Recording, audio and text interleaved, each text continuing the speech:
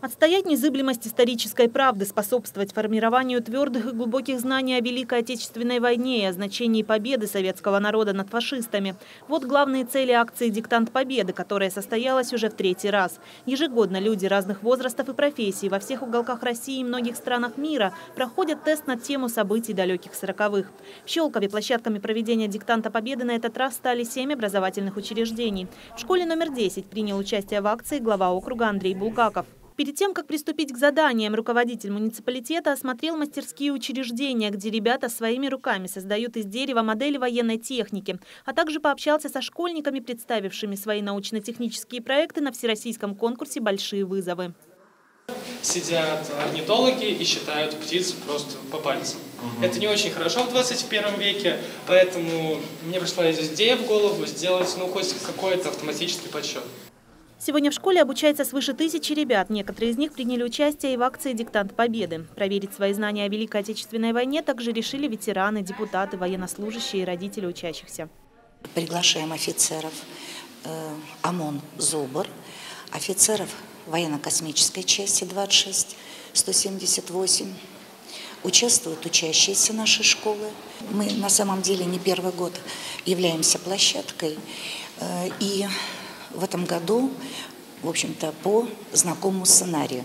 Всем участникам акции предстояло ответить на 25 вопросов о ключевых событиях войны и ее героях. Задания были представлены в форме теста. На их выполнение было отведено 45 минут. Диктант начался ровно в 14.00. Полный спектр, по сути дела, и исторических событий, и героев наших, э, исторических э, эпизодов. Мы должны это помнить. Люблю я историю, тем более учитель истории обществоведения, как одна из моих э, профессий э, гражданских, которую получил еще будучи э, учась в училище. Я очень благодарен за приглашение, потому что очень много сам занимаюсь военно-патриотическим воспитанием. Ну, просто я и обязан заниматься этим.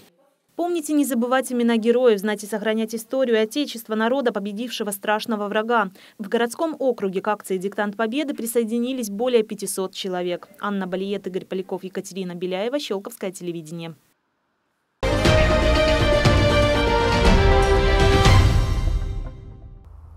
В общеобразовательной школе номер 19 в Медвежьих озерах пришли написать диктант победы не только ученики, но и их родители, а также представители местной администрации, педагоги и депутат Совета депутатов городского округа Щелково Павел Жуков.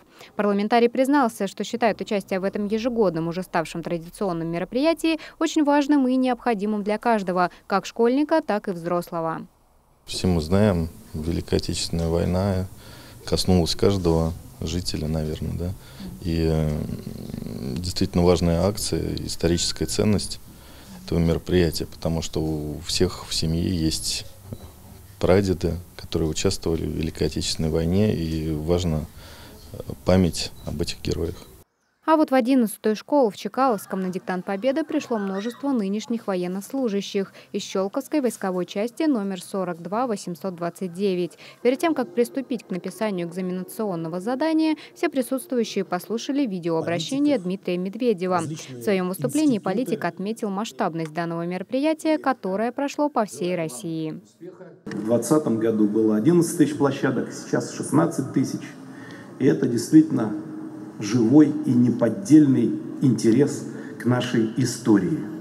Мария Буржинская, Андрей Цеханович, Александр Аржевский, Валерий Жиглей, Щелковское телевидение.